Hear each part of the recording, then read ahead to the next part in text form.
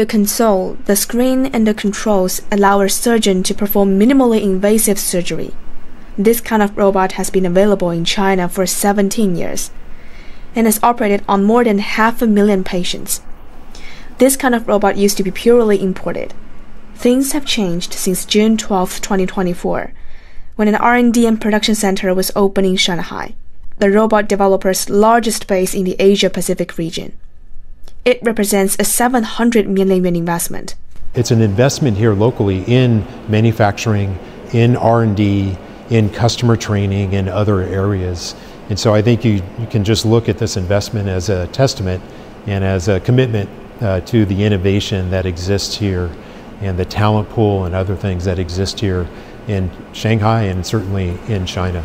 You know, one thing I was impressed by is how fast it happened. See it go from dirt to this building in 20 months. You know, I've been very impressed and excited by the cooperation from the Pudong district, from Shanghai, from suppliers around uh, China as a whole. And so I'm excited to continue that and keep working with them.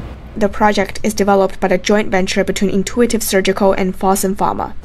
未来呢，实际上我们在中国所用的手术机器人，我们 we are working to have 100% of the robots sold in China produced here. Once the factory is fully up and running, we will try to export our products. We will constantly optimize the production cost so that the robots can be applied in more hospitals.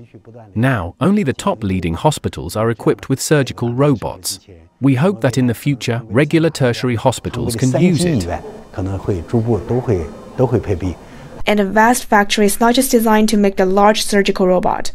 Workers are carefully making needles for robots that's dedicated to minimally invasive peripheral lung biopsy. This plant on its own can cater for 70% of the global demand. 在中国的话，这个肺癌也是我们发病率和死亡率第一的肺癌。 in China, lung cancer is of the highest morbidity and death rate. To curb it, the key is to discover and treat it as early as possible. But there were some limitations in terms of flexibility, stability, and accuracy. But after we have this robot, doctors can do the diagnosis with the push of a button. Those nodules which are difficult to identify with traditional methods require this kind of robot. And in the future, it may also be able to help with treatment. 它，对吧？然后还有一部分就是说，可能未来它会治疗。